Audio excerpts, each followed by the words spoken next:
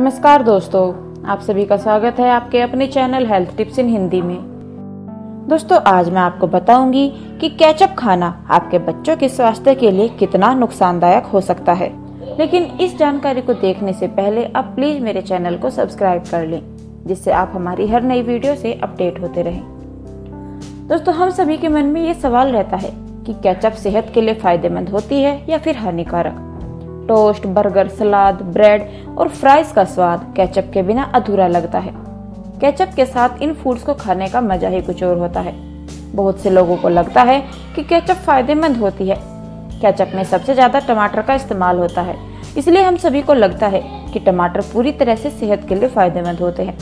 लेकिन अपने बच्चों को बहुत अधिक मात्रा में केचप खाने ना दें। केचप का ज़्यादा या लंबे समय तक इस्तेमाल करने से इसका सेहत पर बुरा प्रभाव पड़ता है। चलिए दोस्तों, जानते हैं कि सेहत पर केचप का किस तरह नुकसान होता है। नंबर एक, कैचअप में 25 प्रतिशत शुगर होता है।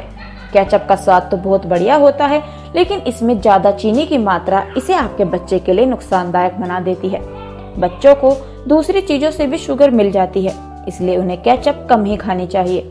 कमर्शियल कैचअप में बहुत ज़्यादा शुगर की मात्रा होती है। नंबर दो केचप के स्वाद की वजह से बच्चों को इसकी आदत हो जाती है। आगे चलकर इस वजह से सेहत को कई तरह के नुकसान हो सकते हैं। नंबर तीन केचप में एक और कमी होती है, और वो ये कि इसमें सोडियम की मात्रा भी बहुत ज़्यादा होती है। बच्चों को दूसरी चीज़ों से भी सोडियम मिल जाता है।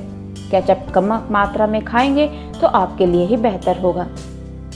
नंबर चार केचप खाने से खतरा भी बढ़ जाता है। अधिकतर केचप में फ्रुक्टोज कॉर्न सिरप की मात्रा बहुत ज़्यादा होती है, जो डायबिटीज़ और मोटापे का कारण बनता है।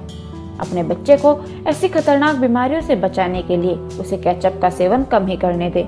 अगर आपका बच्चा सुबह के समय नाश्ते में टोस्ट के साथ भी कैचअप खाता है तो उसे दूसरे कई रोग होने का खतरा और भी ज़्यादा बढ़ जाता है। नंबर चार। ऐसा बिल्कुल नहीं है कि कैचअप नुकसानदायक ही होती है।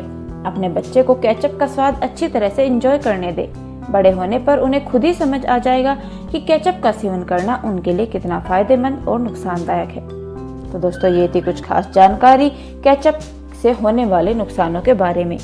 आपको आज की जानकारी कैसी लगी हमें कमेंट कर ज़रूर बताएँ।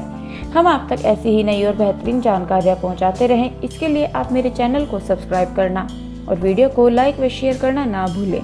हम आपसे जल्दी मिलते हैं एक नई जानकारी के साथ। तब तक आप अपना ध्यान रखें, खुश रहें, स्वस्थ रहें। धन्यवाद।